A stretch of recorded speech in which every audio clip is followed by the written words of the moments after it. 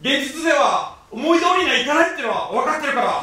だからこそ頭の中に浮かんだああだったらいいなとかこうだったらいいなとかいうそういうあれこれをなんかギュッてしてバンってして抱きしめて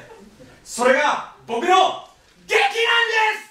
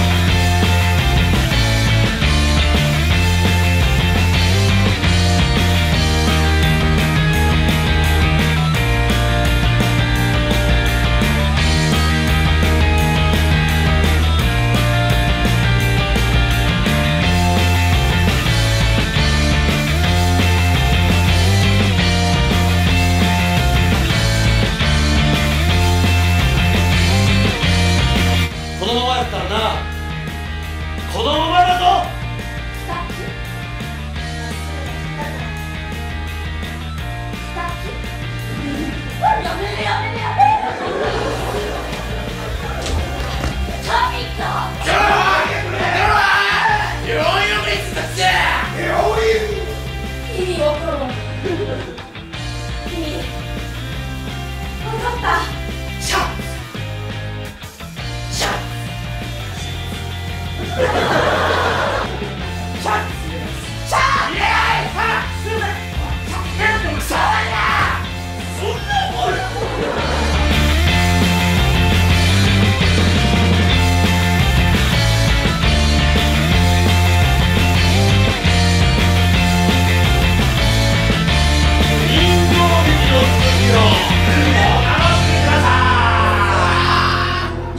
big man.